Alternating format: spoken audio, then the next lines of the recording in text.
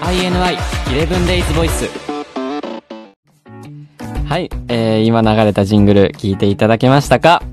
せっかくの一人喋りの番組、様々な僕の声を皆さんにお届けしたいということで、いろんな声色のジャンルが入ったボックスから、えー決めて収録したジングルです。こちらに、ボックスがあるんですけれどもね。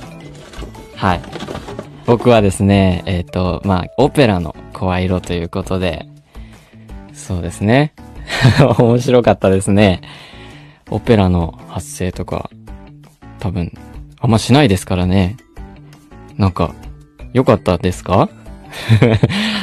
わからないですけれども。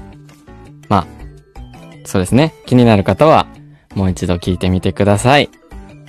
それでは、皆さんからいただいた質問に答えていきます。えー本当にたくさんのメッセージをいただいたとお聞きしました。本当に、本当にありがとうございます。はい、それでは、早速、メッセージいきますね。新潟県ラジオネームペットショップ店員さん。あ、ペットショップ店員なんですか？一緒ですね。はい。ひろむくん、こんにちは。こんにちは。えー、ツンデレなイメージのあるひろむくんですが、えーこのメンバーにはつい素直に甘えちゃうというメンバーはいますか？えー、そうですね。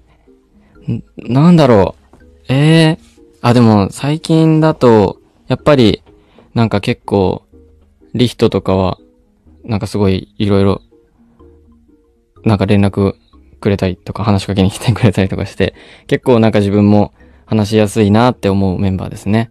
あとは、匠とかは、なんかやっぱり、いじりたくなっちゃいますね。なのでなんか結構、ちょっかいとかは出したくなっちゃいますね。はい。そんな感じですかね。でも、なん、なんですかね。やっぱり、気分屋さんってのもあって、結構、一方的なことが多いかなって 思います。はい。こんなとこですかね。